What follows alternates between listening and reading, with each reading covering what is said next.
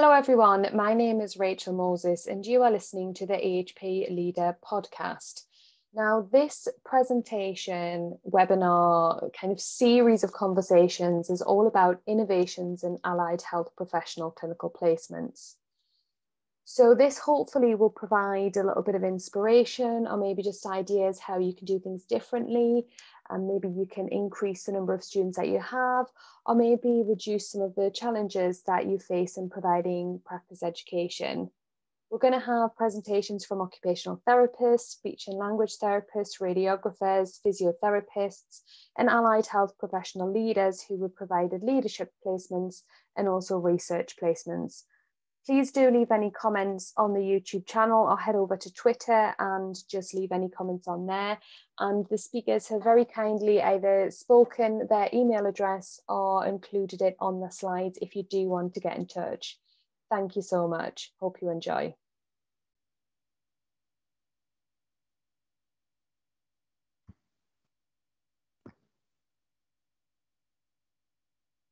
Hi, I'm Hannah Scott and I'm the practice, practice education lead for therapies at Kettering General Hospital.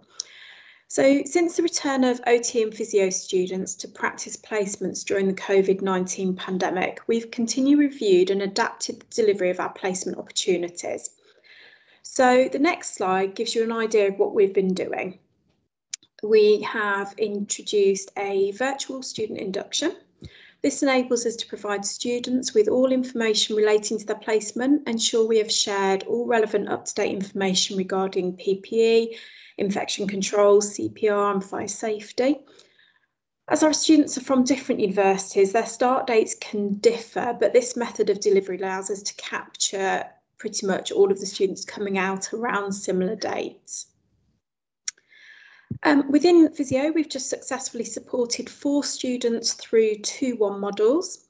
We also currently have a final year physio student trialling a clinical leadership model, which is a 50-50 split.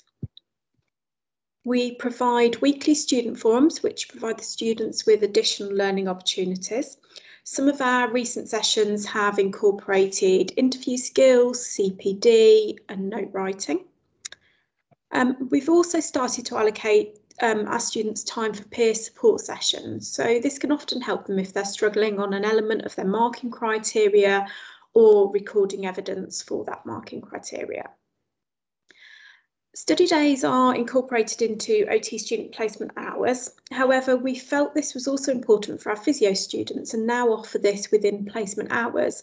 Feedback's been really positive and the time is used for a project or other directed study and that's often set um, by the educator in discussion with the students. All students now receive formal weekly supervision in a confidential environment that's documented.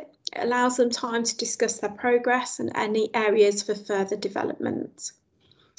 We have recently launched the student digital journey in our trust. So this enables our students to have access to um, electronic systems such as Vitals, Careflow, Patient Information System.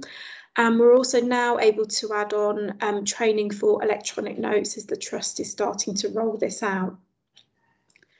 To give students an insight into other non-clinical roles, we also, will also have opportunities for them to observe recruitment processes.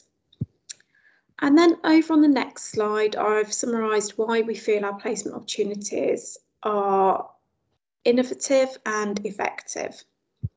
So the 2-1 model has enabled us to increase our placement numbers and we feel um, absolutely be following this model moving forward in both OT and physio.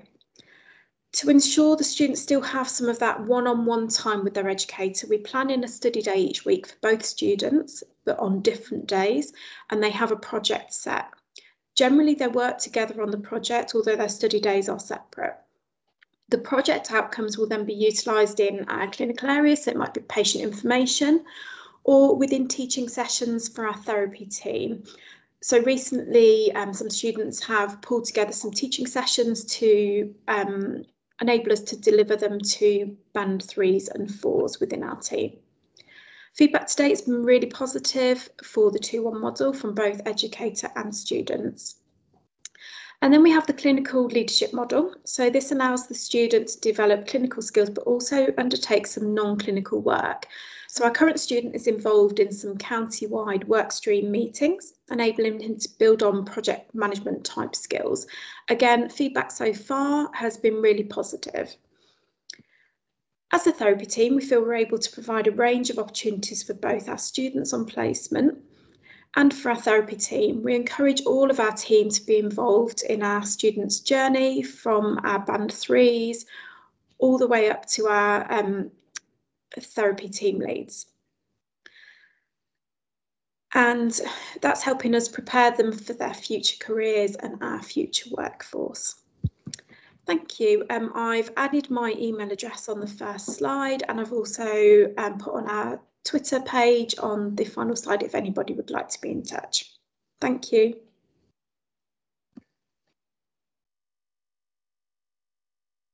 Hi, I'm Sabrena and I'm a speech and language therapist at Evelina London Children's Hospital. Today, I'll be talking about our department speech and language therapy student placements and in particular, how we adapted our typical placement approach in response to the COVID-19 pandemic. If you'd like to chat further about anything I talk about today, or if you have any questions, please feel free to contact me on my email address. Our paediatric acute speech and language therapy team at Evelina have always enjoyed taking student placements, and at the start of the year, we accepted a spring student placement. However, as the second wave of the pandemic occurred, it became very clear quickly that we were unable to provide a face-to-face placement for these students. Unpredictable staffing shortages due to redeployment, increased infection control procedures on the ward, and uncertainty about what the second wave might bring made for a less than ideal environment for a face-to-face student placement. However, we were still eager to assist the universities in providing suitable clinical experiences for speech and language therapy students, and decided to continue with the placement but in a fully virtual format. We worked closely with other Trust SLT departments to share innovative ideas and advice, and we adapted our already existing departmental placement package to suit the virtual format.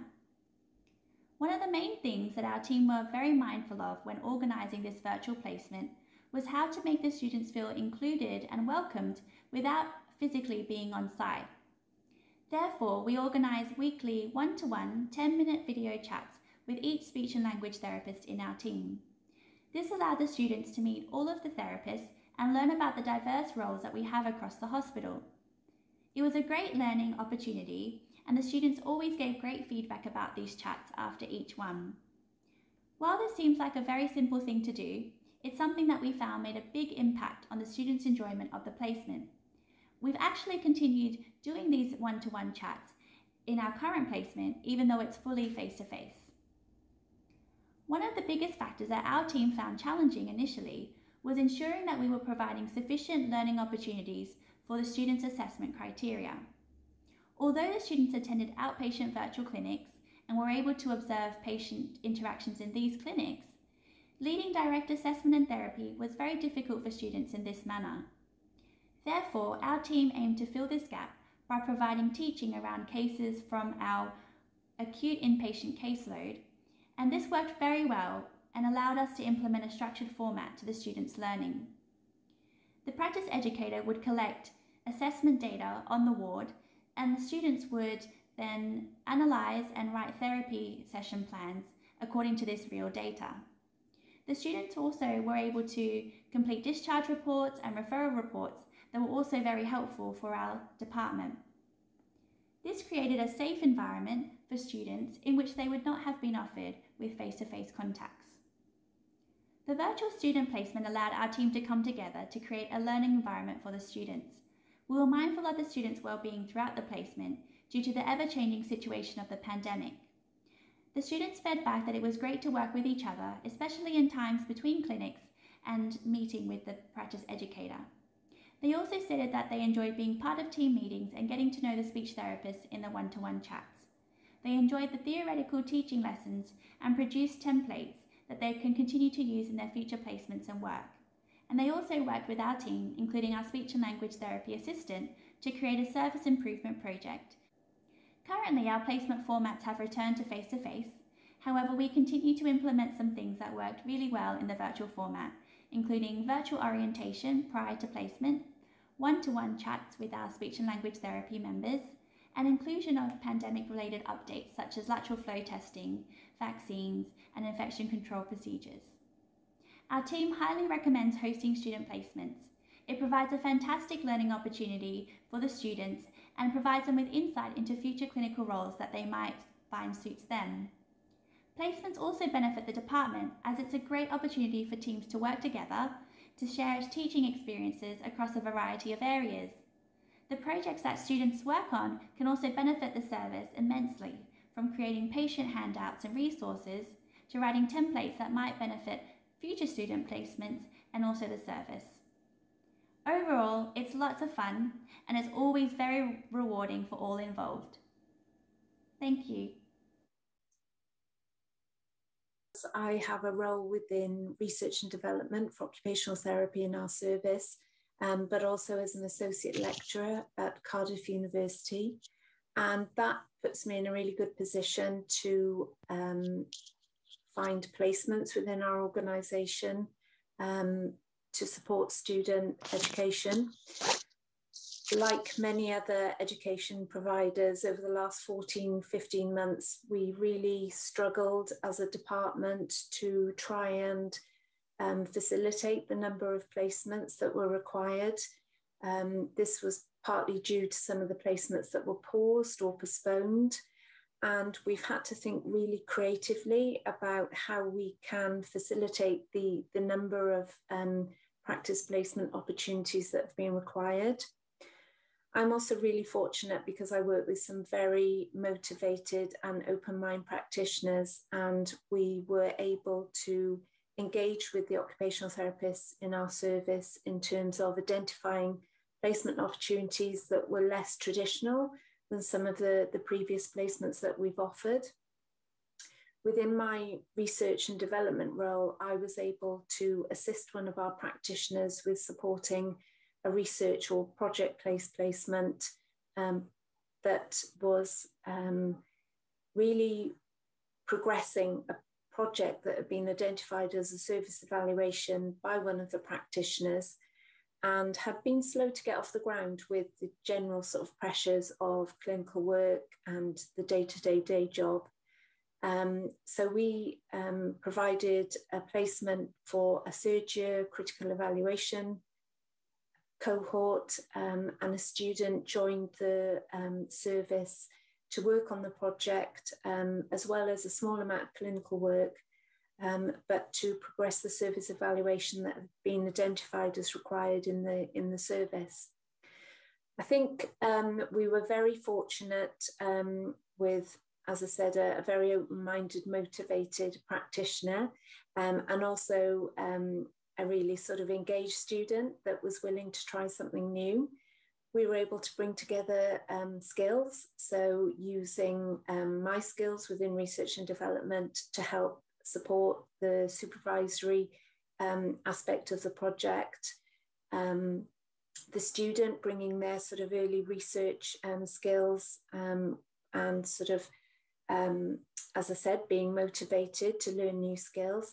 And of course, the practitioner, in terms of her expert, expertise and interest in the topic that had been identified as something she wanted to progress through service evaluation. I think bringing together those skills worked really, really well. It was an excellent collaboration. I've no doubt it sort of strengthened partnerships between the university and the health board.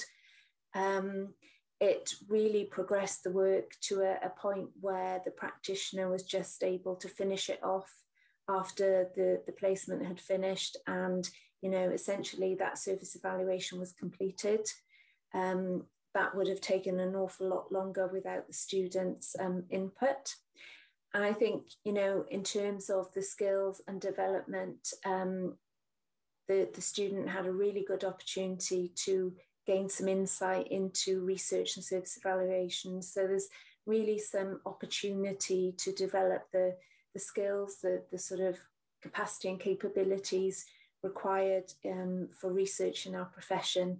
Um, so really a, a very rewarding, um, successful um, placement.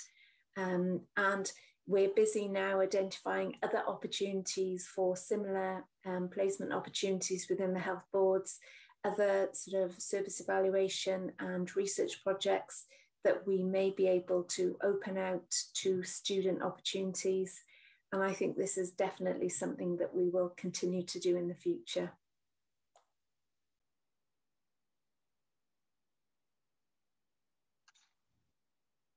Hello, my name is Amanda Weaver. I'm the Therapies Early Career Lead and physio by profession, and I'm just talking a little bit about the transformation of place-based learning that we've done at University Hospitals Dorset um, with our physiotherapy and our occupational therapy clinical placements. So, we started reviewing our clinical placements at we were two different trusts at the time, so Bournemouth and Christchurch Hospitals NHS Foundation Trust and Poole Hospital NHS Foundation Trust. And we were looking because of the people plan that come out, the need to increase our placements as the numbers of students increased in higher education institutes.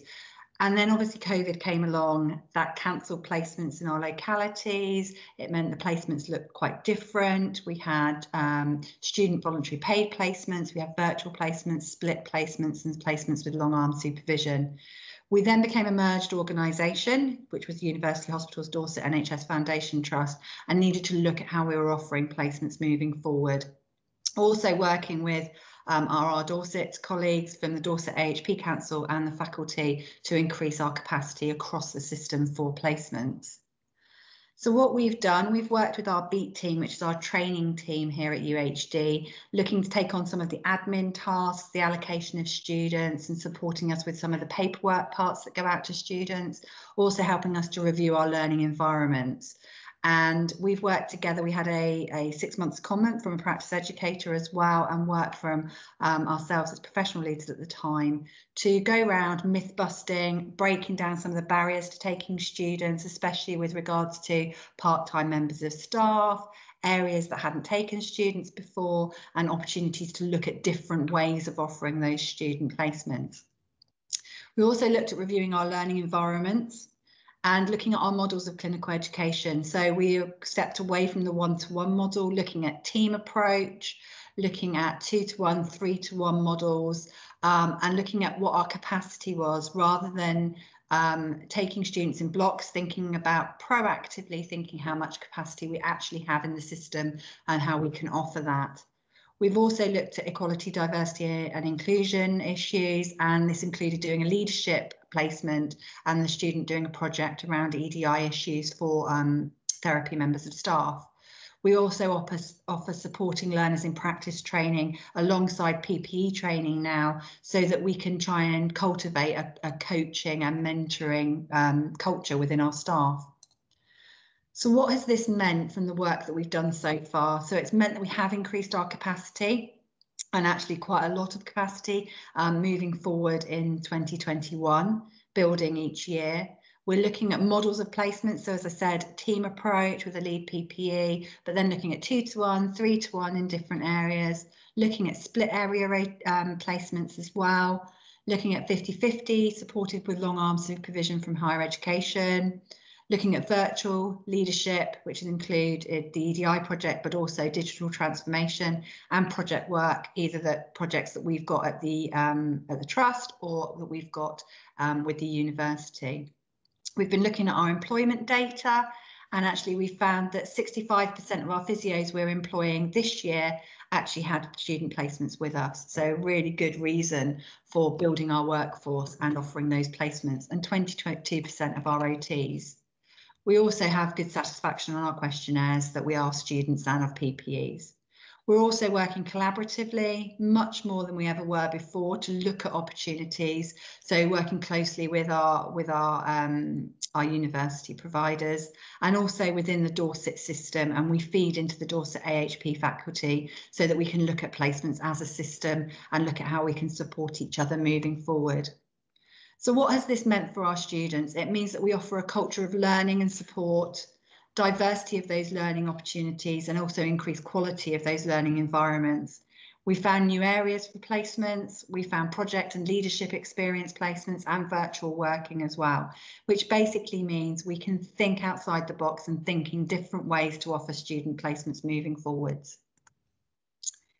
If you want to, you can contact me about the work we've done at UHD, um, either on Twitter or via my work email. Thank you very much.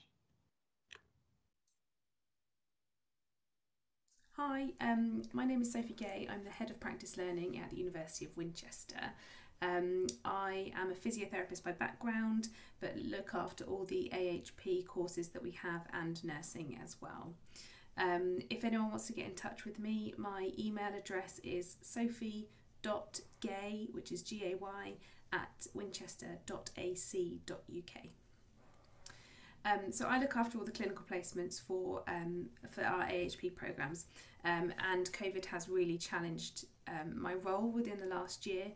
But I think it's also given us a real platform uh, to challenge existing um, practices around um, practice learning, and it's given us the chance to diversify our placement offering, challenge myths, and really strip placements back. and evaluate what they are and what the where the important learning occurs within placements. Um, we are really fortunate to work with some awesome practice educators and organisations who have been really supportive of some of our crazier innovations over the past year, of which there have been a few. And I just want to run through um, some of them today. So we started doing some leadership placements back in July 2020 uh, with Beverley Harden at Health Education England. And this was done in like a split placement model um, where the student would uh, spend half the week with, with Bev and her team at Health Education England, all delivered remotely, and then half the team in a clinical setting that was um, also delivering care remotely. But the student actually went into the, um, the hospital to do that side of placement. Um, this was really, really successful, and the initial student that we sent there actually ended up getting some of her work published that was undertaken whilst on this placement. Um, it was really brilliant, and subsequently, Bev has also taken uh, quite a few more placements for us, um, often in a two to one model. So she's taken two students at a time, always in that split format. So the students are doing clinical half the time, and then this leadership management type role half the time as well. Um, and this is now grown in popularity that many more people are uptaking these leadership type placements. Um, and we also have run a few more within the university in, in different settings. Um, we've also run them as split quality improvement and and clinical placement. So half the time the students are with um, QI teams working on projects, and then half the time students are in clinical settings, um, or other types of projects as well, not just QI. Um, we've been putting students in research based placements as well, education placements. Um, these work really well if they are kind of split alongside a clinical service. So that might be a clinical service that isn't able to support a student full time or actually might be just um, a bit overwhelmed by lots of students. So actually having a student part time rather than full time might be preferable to some. So that's worked really well. Um, we've also just finished a fully simulated physio placement that saw a group of 15 first year students undertake a mainly CVR and MSK placement that used a mix of high fidelity sim mannequins and patient actors to work through a series of case studies that mimicked a patient pathway. Um, and this was really successful, and students absolutely loved it and we will hopefully be studying this and, and these students as they go forward into their next placement to see um, if their inclusion in this sim placement will actually affect their performance going forward like they seem to think it will do. Um, we've also been really open to finding where AHPs are in the workforce um, and where they're lurking across the healthcare system and using using this to kind of seek opportunities um, for really exciting non-traditional, often non-clinical placements. Um, so we've just had a student finish with a digital healthcare startup company run by physios, um, looking at app-based technology to support ACL rehab. And then another student just finished a placement with the Experience of Care team um, at NHS England. We've also supported role emerging placements so we've just had two students working with Southern Health Trust um, where we placed these two students on mental health wards, one OPMH, one acute forensic, um, and both they were both the only physios on that ward on a daily basis and supervised by OTs. Um, really, really successful for everyone involved. The patients benefited from the physical health expertise, the teams benefited, and also the students um, did really well. Um, we found a lot of success with these non traditional placements. Students have all been able to meet their learning objectives. Um, however, more than that, they've gained insight into the wider roles of AHPs beyond clinical practice and, and actually the value that students can bring to teams. Um, I do feel like we've entered a new era for practice learning that's going to ultimately create some excellent graduates and really strengthen our AHP workforce even further. Name is Erika Mangialardi and I'm a speech and language therapist. I completed my master course at University of Essex and I currently work in neuro rehab in a community and outpatient setting. I founded the Aphasia Cafe in April 2020, right at the beginning of the pandemic. And the Aphasia Cafe is a placement opportunity for speech and language therapy students. The Aphasia Cafe includes virtual communication and support groups for people with aphasia, dysarthria, apraxia, and we also accept referrals for, from people with other communication difficulties. We started only with one group in 2020, and now we have nine groups. Um, each group is formed by five participants, and um, they are run by two facilitators, which are the speech and language therapy students. Uh, the sessions are weekly on Zoom and they last uh, one hour. And we do fun activities, games, quizzes. We talk about news, music, movies, and we also share lots of personal, more emotional stories. Uh, the members of the Aphasia Cafe also have the opportunity to join our Aphasia Book Club, which is run by our very dedicated and experienced SLT Fiona O'Neill, and she runs this with SLT students. The sessions are on Zoom, they last one hour, and they are weekly uh, as well. In order for the participants to access uh, the book, we also offer different reading ramps. Uh, in terms of what the students are gaining from this placement, uh, we see that they need to prepare session material tailored to the participants' needs. They adapt their communication skills to support the conversation within the group. They also play the role of a moderator, so they try to enable conversation among the participants. And very important, they develop the interpersonal skills, which are essential for our professions. And they do this by building rapport with the group members. Also, after the session, they reflect on their own strengths and weaknesses, and they think about future action to improve conversation within the groups. They write session notes uh, to record the progress for each member of the group and also very importantly liaise with family members and the SLTs who work on a one-to-one -one, uh, with uh, the members. And this also always to support the, the participation within the groups. And um, also we have many carers or family members that sometimes are uh, hovering in the background of, of our session and therefore the SLT students offer a role model in terms of um, they show how to implement communication strategies during uh, conversation. In terms of what the members uh, gain from this experience, we see, well, we can't ignore the fact that we're living, we're still living in a pandemic. So therefore being able to join people and to talk to a bunch of, uh, of people online is definitely minimize the level of isolation. Uh, and then they have the chance to practice their communication strategies. They engage in fun and meaningful conversation with, uh, with other people. They also feel free to share their personal stories, their journey uh, through their stroke or you know um, other difficulties in a safe environment they have an opportunity to socialize with other people and build friendship. We have people who have been with us since last year and therefore meeting week after week, they actually, you know, now uh, are friends and they like teasing each other and joke with each other, which is very nice uh, to witness.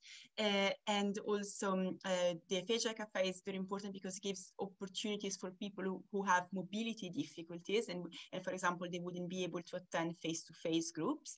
And definitely last but not least, uh, we have people from all over the world. So there are people from Australia, South Africa, uh, Europe, uh, all over the UK, and also the US. And therefore, the, the conversation about cultural differences, for example, are very, very interesting.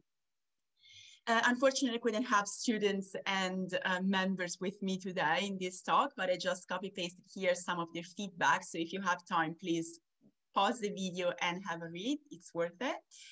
Uh, so this is the feedback from participants. This is, the feedback from the students.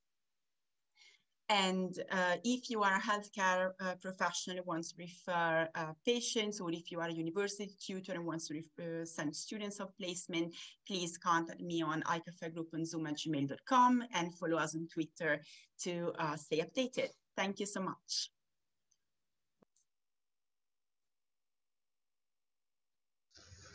As part of our model, we take on eight students with each cohort which allows for 56 students over the course of an academic year. Our students complete a five-week placement, which is dictated by our local higher education institute, Teesside University.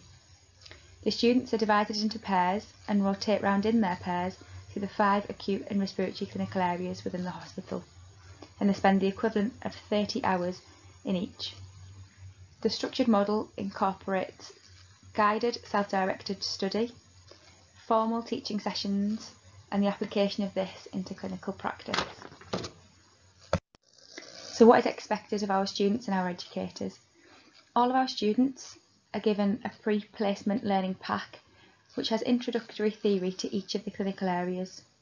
The students are then expected to engage and complete the workbook activities prior to arriving at each area, which maximises their learning opportunities this is mainly due to the time constraints associated with our learning model.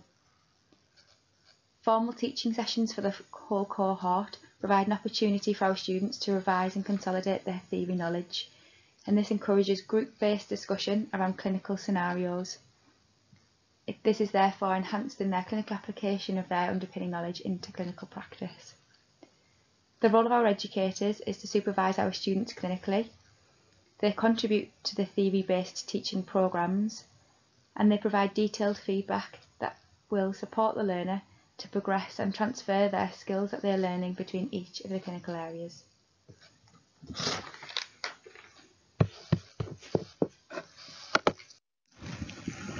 So on the screen here we have an example of what a typical student's timetable would look like in the first three weeks of placement. On here, the student's time is split into clinical time, self-directed study, or teaching theory sessions. The sessions generally include a wide variety of placement theory and skills, including general orientation to the clinical environment, respiratory specific theory, which includes assessment and principles of ventilation, and alongside that we have some focus sessions on frailty and we run a critical care simulation session to help with Ashton's anxiety as they're only in critical care for such a short period of time it's a bit overwhelming and within this we utilise the SimMan and the use of a virtual critical care environment.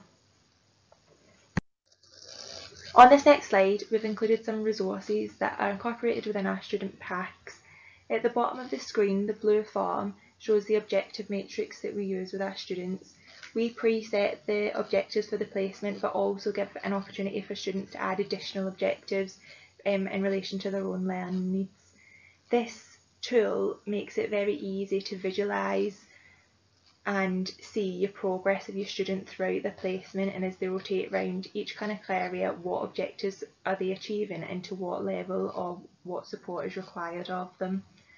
At the end of each rotation this will be completed by the educator they're working with and we also have a formal written feedback form that will be completed additionally. This has been created to mirror the CPAF assessment form which is what we use currently under the pilot from the CSP. This makes it really easy for the educator during the midway and final assessment to transfer this information over into the formal assessment forms. Also on this slide we've got a feedback, um, a reflection form that we expect our students to fill out as part of their placement and this allows them to show how they feel like they're managing on the placement and what they feel like their learning needs are during their time with us. So following the implementation of this placement model, we'll have increased our placement capacity by 100% this year compared with 2020. Due to the nature of the placement model, clinical educators have reported a significant reduction in what they perceive to be time spent educating students despite an increase in cohort sizes. Students praise the variety of the clinical exposure and appreciate the evidence they finish with to support their future development in CPD portfolio. And we'd just like to make clear that the success of this model is due to significant teamwork and flexibility of clinical educators at South Tees and students and lecturers at Teesside University, of which we are very grateful. That's a very brief overview of our placement model, and we're more than happy to share our resources and lessons learnt so far. Our contact details can be found on the first slide. Thank you for listening. Thanks.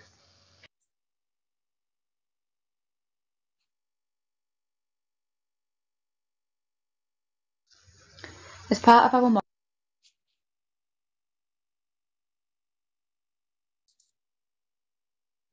My name is Louisa Ellis. I'm one of the edu AHP education leads at West London. And I'm going to go through our clinical education and what we've been doing, how we've been doing it, things differently. So what have we managed to achieve so far? We've managed to build in some remote days, allowing some social distancing in some of our offices, split days across different services, split with leadership days for settings, having a team approach for placement and a group placement with remote days. So what are remote days here? So often remote days we set tasks for them to build their knowledge and skills and we develop we've developed a pack to add some structure to those days we and we're rolling them out those that's that structure across the different settings often the days are learning about to manage their workload, their time management, learning the key skill of diary management, having some reflection time for remote days often is beneficial, and maybe possibly having a project develop maybe student resources, uh, group protocols, and it's good to have a start to finish project so they can finish um, and finalise and evaluate it at the end. We've managed to achieve a split placement model and we've done a few of these, but this was an example of our first one. So we had a vocational rehab service offering two days where the practice educator was set, and another two days of community recovery team where there was an OT mentor and fed back to the practice educator how they, the student was doing. And I offered a day uh, as an education lead, offering a leadership day remotely, working on a project and offer, to, and offer time for reflection space. What is a leadership day? Leadership day uh, key here we're finding finding a certain fixed day, provide the structure for the placement, having a set meeting every week, uh, possibly talking about a project and reflection times and mentoring sessions. The project allows us to give some focus, then develop skills on planning, implementing and evaluating something, and something to work autonomous, autonomously on during the placement. It builds skill development of communication, time management, organisation, prioritisation, and working towards a day. Right, so the group placement model was a face-to-face -face two clinical days a week and three days remotely. So the clinical days have opportunities to shadow sessions and look at notes um, understand the OT process through um, clinical uh, sessions. Uh, remotely, they were able to attend meetings um, which were service-led or trust-led and to understand how the hospital worked. And they had set learning tasks to understand the setting, so understanding conditions and the OT process. And I delivered some teaching sessions on topics relevant for their placement. And it was a, generally a, a one-to-one supervision and a three-to-one supervision from two of the senior OTs to deliver this model, but it really was a whole team approach to deliver the education for the six weeks. Another team approach was in an intermediate care setting where the practice educator is possibly only available two days a week and the other two days with any other um, supporting MDT members, so OTs, PTs, um, other physios, nurses and paramedics and a one remote day where I delivered some tasks for them to look for their learning and some teaching sessions. sometimes it's a bit of a mix and match delivering um, these placements, so fixing where looking at where the potentials are and matching the placement days where the opportunities are to create a whole placement. My advice is think about where the learning opportunities are, build the placements from the opportunities. Can't stress enough the importance of planning and organising placements prior to starting and ha really having a solid induction so everybody understands the model and how it's going to be delivered. My name is Louisa Ellis and I can be contacted on my West London email address. Thank you very much. A number of practice placements withdraw offers during the initial lockdown. When lockdown was lifted, additional placements needed to be found to cover those cancelled at the beginning of the pandemic. Yet at the same time, services were having to reduce their offers due to social distancing requirements in teams with limited office space and capacity. The practice education team were actively encouraging placement settings to think creatively and propose possible placement projects to increase placement capacity and provide the students with meaningful practice experiences. At the same time, I was a member of the National Get There Together project group that was looking to create a digital resource to support individuals living with dementia navigate the changes that had happened in their local community due to the pandemic. We saw so much value in the project, but we were struggling with staff resources and skills to actively contribute to the digital resource library, which we knew was going to be a huge task. So as students, we were given um, special training on how to create digital stories, but this next bit is a short clip explaining them how they work and how we did it basically.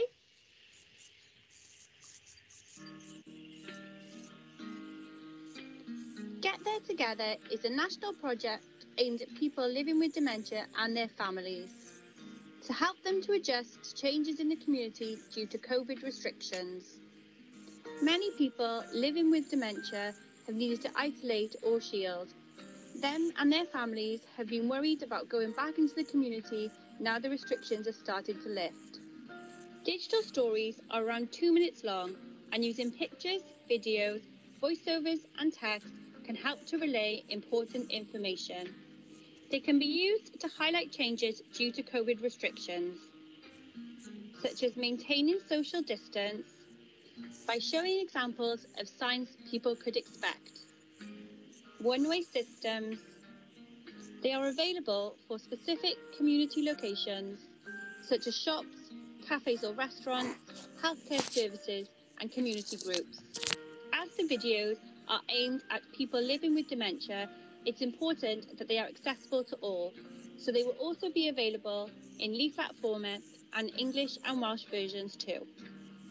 The project hopes that by using the videos, it will help lessen anxiety, reduce isolation and encourage inclusion for those individuals living with dementia.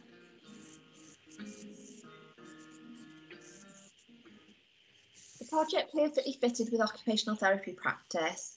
So I approached Rachel and Maria at Cardiff University with an idea of supporting 10 students on placement, working in pairs in each of the five boroughs of Gwent.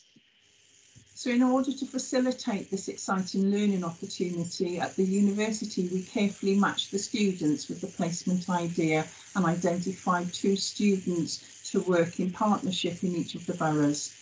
The placement was split three days working remotely on the Digital Stories project, with one and a half days spent in clinical practice settings with an occupational therapist and a half day study leave per week so the students had the opportunity to consolidate their learning.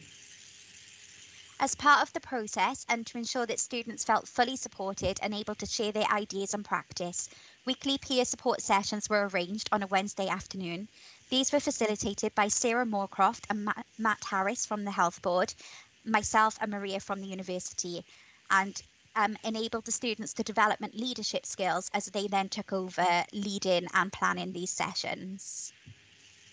Jenni is now going to share some of her own personal experiences of this exciting learning opportunity.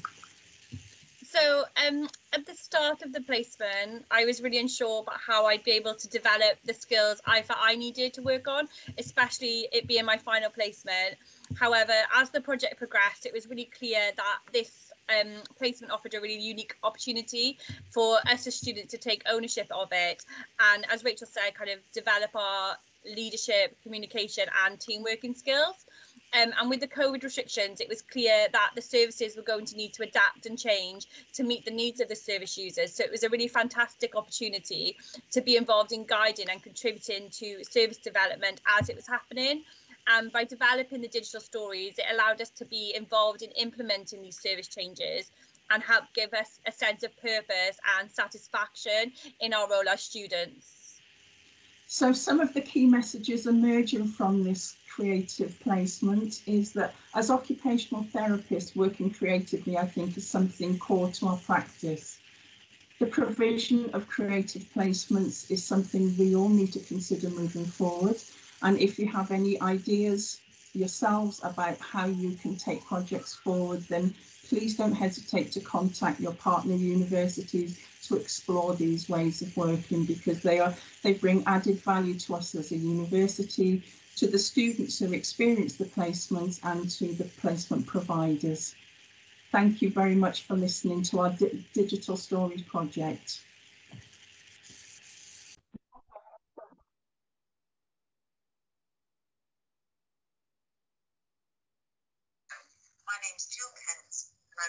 lecturer at Teesside University School of Health and Life Sciences in the Allied Health Professions Department. And we're going to share our placement expansion work during COVID-19. Our key take-home message will be to involve every member of staff at every level, from the development of the placement to the delivery. This should include everybody from professors, directors of service, the non-registered workforce, and every band in between. Cormac. Hi, my name is Cormac Ryan. I'm Professor of Clinical Rehabilitation here at Teesside University, and I'm also a physiotherapist. Um, I supervise students on the clinical research placements, and those students get a variety of experiences, practical experiences of different methodologies and different projects. And I believe this leads to, to three key take home points that uh, students get a view of just how broad the profession is and the role of research as a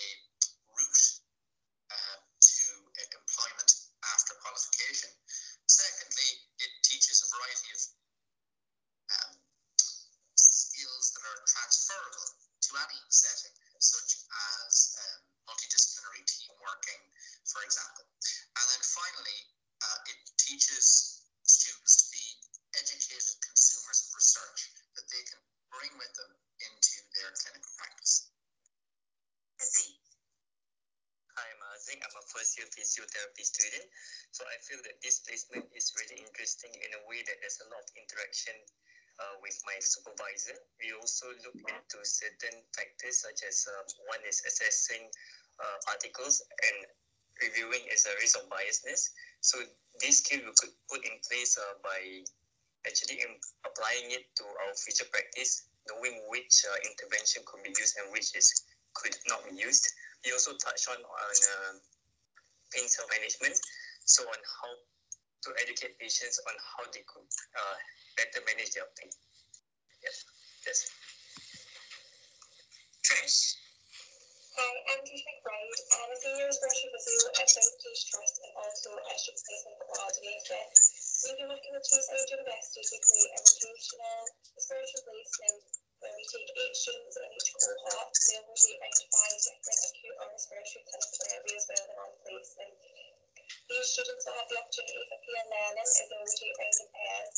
They also participate in interactive teaching sessions where we use a one model. And in these teaching sessions, we include subjects such as subjective assessment, respiratory assessment, and some simulation based work on critical care.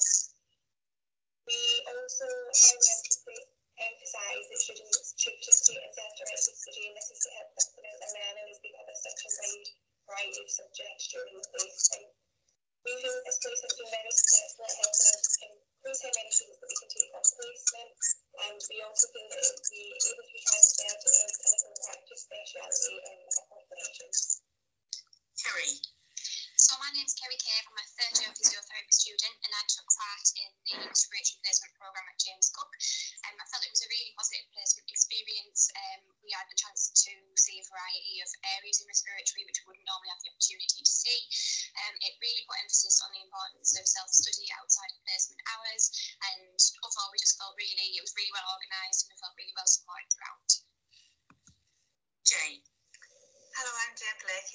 Clinically advanced clinical practitioner physiotherapist working in Tees, Esk and, Wear Valleys NHS Foundation Trust, which is a mental health and learning disabilities trust. Going into this placement, we acknowledged that we had an untapped resource of band sevens and above physiotherapists who wanted to be more heavily involved in student placements. We also acknowledged that we needed to provide something that was COVID secure, but at the same time increasing our number of students. So our placement was 100% virtual placement. It was delivered by band sevens and above physiotherapists, but we also utilised a lot of um, non-professional professional staff. It was a 50% virtual workshops, 50% independent working, and we also developed a new model of supervision, which was one-to-one group mentorship and peer learning. Hi, my name is Annette Clark. Um, I'm a third year physiotherapy student that took part in the service development and leadership placement. Um, we learned a number of things through this placement about service demand through COVID for learning disability and mental health services. And um, we felt very uh, well supported with all the timetable sessions that we took part in. We were able to interact with the service users as well, which was a unique experience compared to pre-COVID times. And um, so yeah, very well supported and well organised. If you'd like any more information, then please get in touch. Clinical learning experience with the importance of a triad approach at the University of Leeds. My name is Lauren Matthews, I'm a radiography lecturer and I'll be joined by Sarah Sayer, who's also a radiography lecturer and also the clinical coordinator for placements. Um, we will also be joined by Kieran Fox and Adam January, who are both newly graduated third year radiography students, with thanks to Eleanor Martin for her contributions also. We'll be discussing um, and focusing on the triad approach to learning, um, which we've used to utilise innovative clinical learning. I'll hand over to Sarah Sayer, who will be discussing um, interlinking frameworks and supporting the clinical demand. Thank you, Lauren. So unfortunately, due to the pandemic, we had to adapt our learning environment for our students and withdraw them from clinical practice to support our um, clinical partnership and link into the ability for them to finish imaging the patients with the capacity to do so. Our students unfortunately did not have the ability to undertake their clinical practice at that time, so we had to look at how we altered our approach to education with those discussions being open between clinical and between the academic side, we also linked in the students as to whether or not they would have a discussion about how we took this forward. What we came up with was a simulated assessment and we will be discussing that in a minute. Lauren will first of all discuss duty of candour. So the duty of candour essentially, um, what we mean by that is being open and honest with our students and our clinical um, colleagues in order to effectively continue the clinical placements. Evidently, there have been changes and challenges that we've faced and overcome. Um, but in order to successfully complete our clinical placements for our students, we needed to be honest with them regarding changes in policies, regarding changes in workforce and workflow. In um, in in a link to that, what we did do at the university was build some simulated assessments, which were the aim behind those was to enable our students to complete their clinical assessments in um, in a clinical learning environment without placing extra demand on um, our clinical colleagues within the trusts. So we looked at firstly our different year groups. So we looked at both our first years, second years, and third years at the time. Obviously, our first years had had um, only a matter of weeks within the clinical placement, so we were aware that they would have um, an increased need um, with regards to their clinical learning. Our second years, now our third years at the time, um, did feel a lot more prepared, but they had obviously had a lot more time within the clinical environment. And I'll hand you over to Kieran now to discuss the student perspective on that. Yeah, so we, as uh, was said previously, we had uh, our our placement cancelled, our summer block cancelled in second year. And what the simulated assessment meant for me personally, it meant a reaffirmation of uh, my confidence in clinical practice because we hadn't, I personally hadn't t- undertook my mobile uh, chest assessment. We'd done it uh, at Seacroft at the hospital where we went right through uh, from the steps to the patient, radiation protection, infection control, all of that. And afterwards, it also went through image interpretation. And it really felt like after that, after would been through that assessment, if there was anywhere that I was lacking, I would been told where, and we could work on that coming into placement block uh, in third year. And it just regained the confidence going into third year, knowing that I should, I am still where I should be, despite the lack of uh, clinical practice. Our clinical educators were slightly worried that our students were not being assessed. Um, but with the discussion of putting in the simulated assessment, this allayed their fears and the incorporation of the individual action plans for each individual student allowed them to see where the students' weaknesses lay and knew where they needed some extra support for bringing them up to speed for all the clinical time that they'd missed. These were sent on to the clinical departments in preparation for their next clinical practice placement. Sarah mentioned before the importance of uh, open communication channels between the members of this triad, and the traffic light system, which was developed, definitely allowed that honest feedback, both positive and negative, to be passed on. It allowed students to develop references and personal statements, and allowed staff members to develop a portfolio of the educational responsibilities which they took on alongside their clinical role. It was innovative, effective, and efficient. So I was also able to develop some positive working relationships through taking opportunity to be a radiography assistant at Leeds General Infirmary.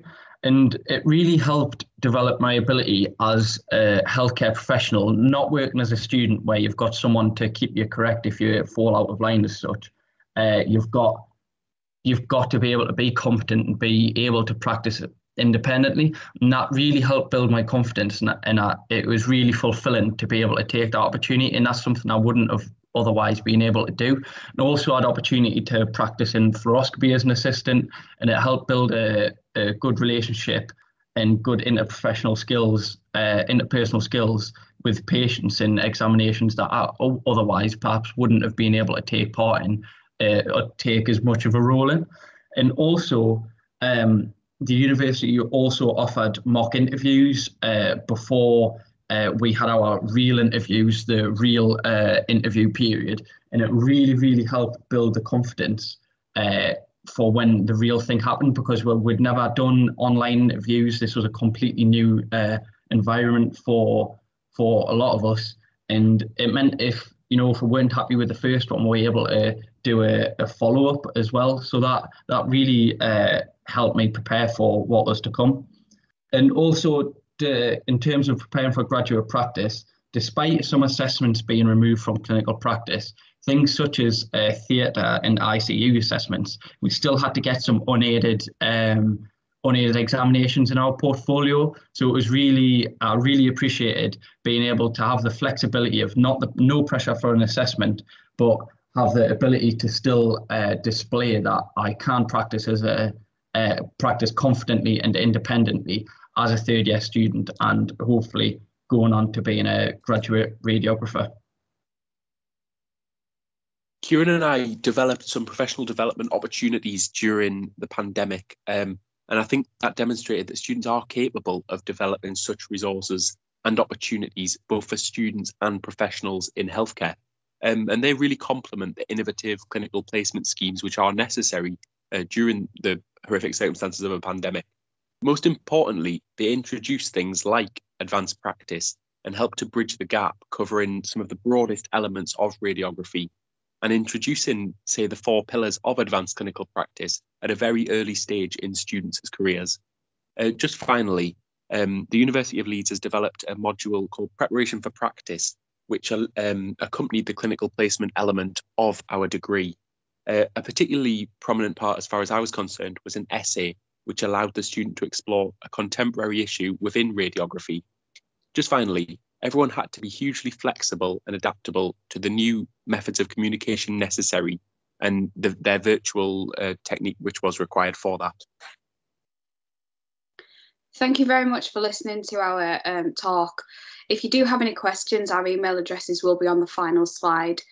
Um, one thing that we have done here is incorporated our student voice, which in itself speaks for how effective our plans regarding clinical placement have been. Um, again, thank you for listening.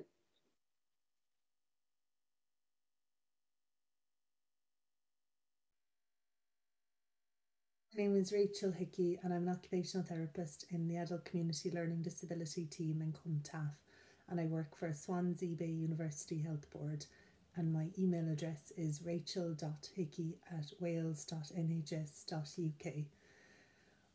I've been qualified for about 10 years and tried to take a student most years. I'm very passionate about education and training and I really, um, really value facilitating student placements.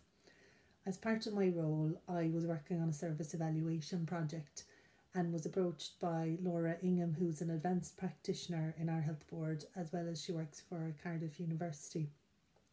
And she talked about uh, facilitating a research placement, and I thought that sounded absolutely fantastic, right up my street. So that was really um, where, where it started.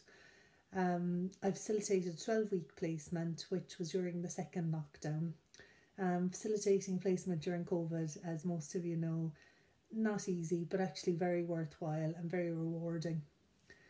Um, a research based placement was a great opportunity for both the service and for the student, and it allowed lots of self directed project goals, which worked well with remote working and gave achievable goals in terms of positives for the service, I thought that it was really helpful to have fresh eyes on an existing project that I'd been slaving away on for quite a while. It also really helped with those time consuming aspects, so the bits of transcribing um, or even just planning and taking time out to actually carry out interviews. It was also really helpful in terms of completing the service development, which, you know, in terms of COVID and priorities, the service development was slipping more and more down the list. So that was really helpful.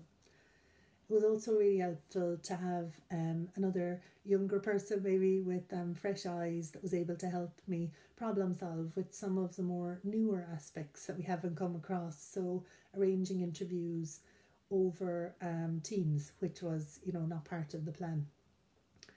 There was also some positives for the student.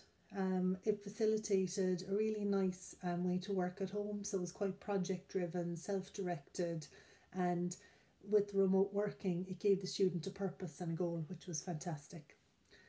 It was also really nice to, for the student to get experience in carrying out a practical research placement. So, in terms of the pr- real practical aspects, so a consent form, um, applying for ethical approval I also thought it was a really fantastic experience for the student to gain opportunity ahead of maybe other students in their class. So th- this research experience is not sort of a standard bit of experience. So I thought that's really helpful. My advice to others in terms of facilitating placement and in terms of um, whether that's now or in the near future is to really have a chat with the student and think about yourself about expectations. So, not comparing yourself to pre COVID placements and what you provided and um, what that looked like. And similarly with the student, having a chat with them about their stress levels. Um, when I think back of placements, and you know, we've all been there, placements are one of the key points really in, in our studying that are, are quite stressful. So I think it's really important now with this added layer of COVID is to be kind to ourselves and be kind to the student. Hello, my name is Dr. Lisa Taylor. I'm an Associate Professor in Occupational Therapy and Associate Dean for Employability from the University of East Anglia. And you can see my contact details at the bottom if anybody has any questions after this presentation. I'm here to present the Peer Enhanced E-Placement, PEEP, that I created this time last year in response to COVID suspension of face-to-face -face placements. The original PEEP was developed, delivered entirely by the academic team at the University of East Anglia, but over the last year has evolved to be a collaborative um, approach with placement partners um, and the academic teams within the higher education institutes to develop and deliver the PEEP, enabling students to link into the um, placement environment via an online link um, in, in the way that we weren't able to do in the original PEEP. So as you've gathered, the PEEP is delivered entirely online. But what is crucial about the PEEP is that the existing placement learning outcomes remain the same and all of the paperwork, the normal assessment processes, etc., all remain the same, but it is delivered entirely online. The key to the PEEP is the peer collaboration, the students work in groups as well as individually. It makes this placement accessible for students wherever they are in the world and whether they've got existing problems, it means that they can't actually have a face-to-face -face placement. There has been equivalence of placement learning outcomes demonstrated by the implementation of the PEEP from the feedback that we've had from the students who have experienced the original PEEP and subsequent PEEPs. The in-depth professional reasoning that is developed through this model has been um, really valued by the students. There is scaffolding, structure and pacing within a PEEP to encourage that learning journey for the students working towards their placement learning outcomes case studies, simulations and scenarios, live links into the placement environments as I've talked about that have been developed over the last year, enable the students to manage a caseload as they would do or manage scenarios as they would do in the face-to-face -face environment, but this is enabled and facilitated through the online placement environment. So I've worked with Gilly Salmon, uh, Professor Gilly Salmon, who is um, an expert in online teaching and learning to enable wide-scale adoption of the PEEP. We've developed a PEEP acquisition package and have worked with 63 course teams across the UK, enabling them to adapt and adopt the PEEP for their own students.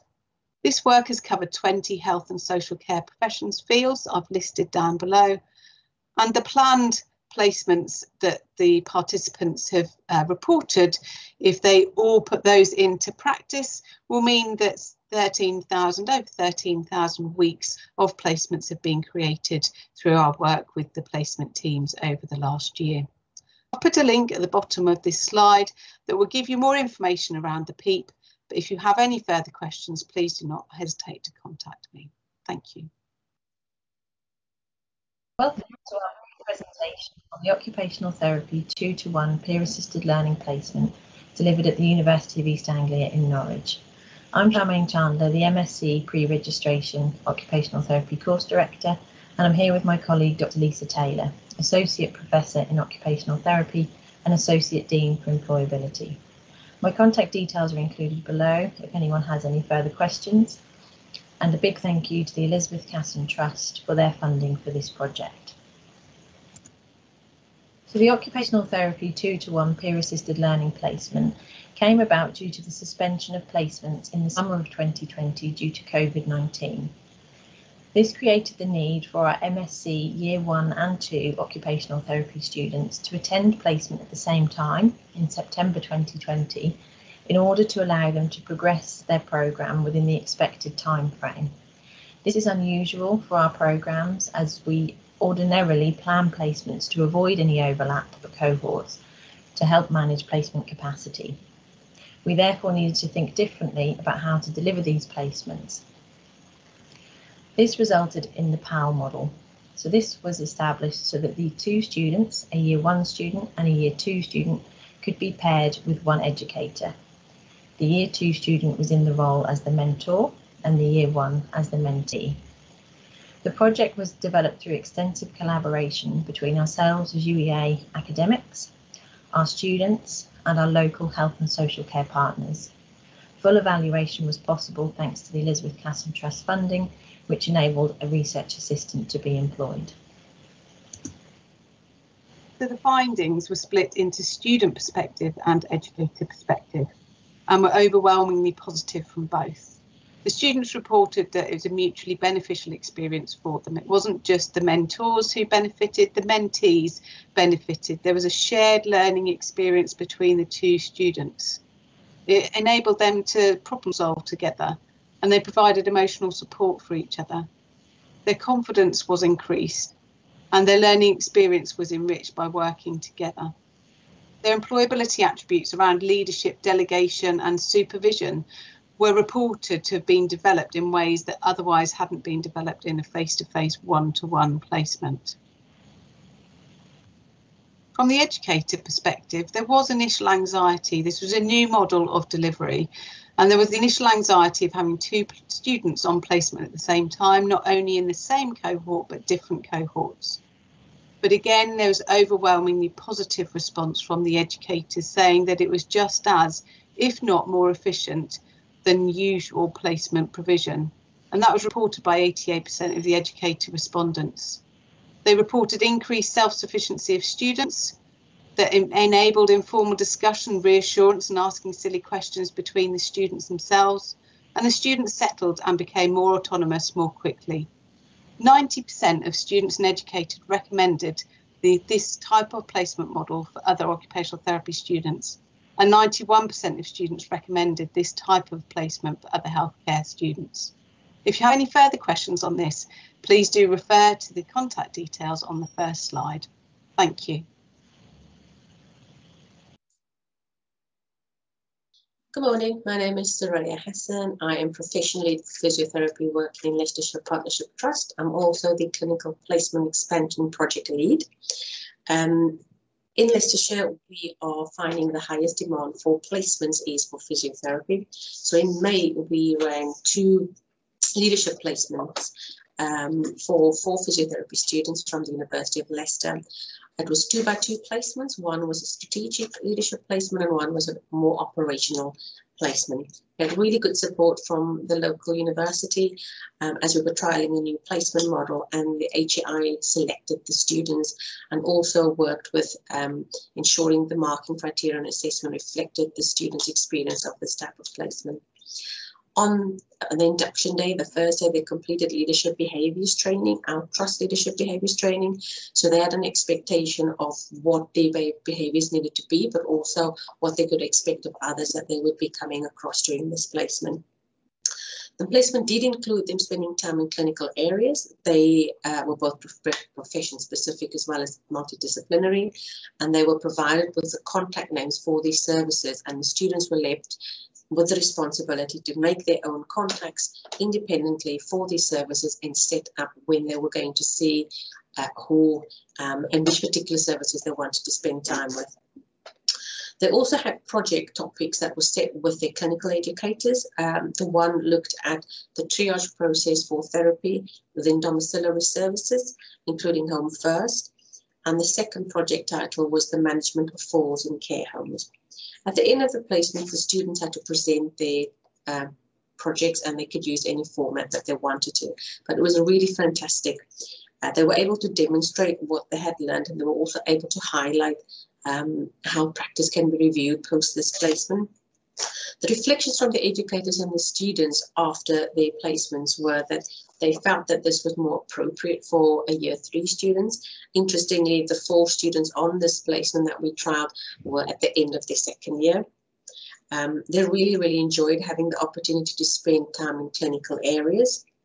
Um, and though it was a two to two model, they did link in with one particular particular clinical educator um, each so that they could discuss their own individual learning needs, which they all found productive and supportive.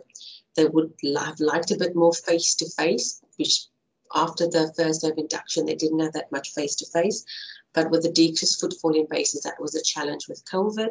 Um, but we anticipate that we will be able to accommodate more of a weekly face to face catch up where they can harness in a bit more on their individual requirements and utilizing the remainder of the placement to support them achieving their individual objectives of the placement.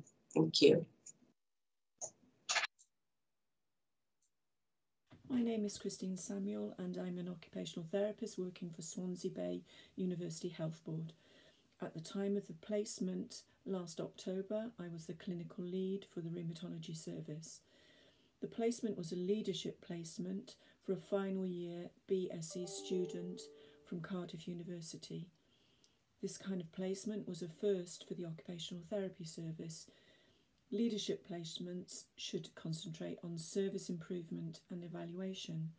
They're suitable for students who have experienced a range of placements and are ready to take on a new challenge. The student who was identified by the university academic team had demonstrated the appropriate skills for this kind of placement.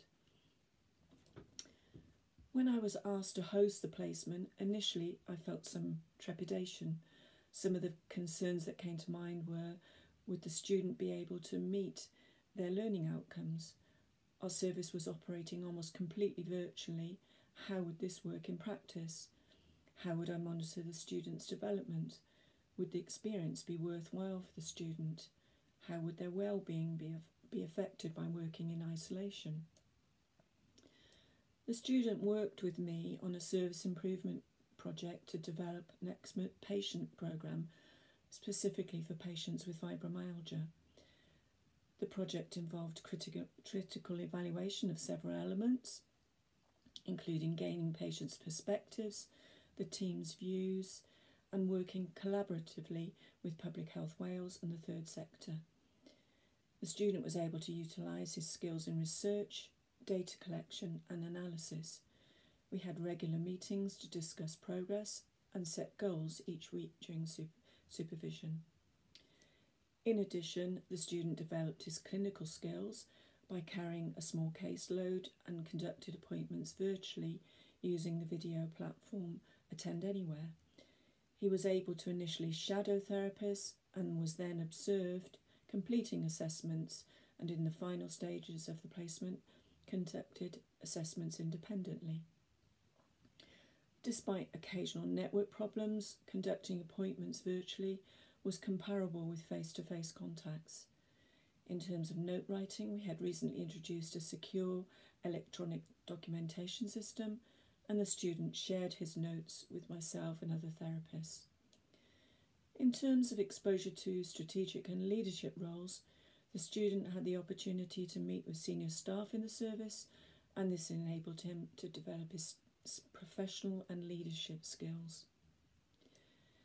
Throughout the placement, I had daily contact with the student to set timelines for carrying out various stages of the project, weekly supervision to set goals for the next week, reviewing progress, a detailed learning contract to monitor development.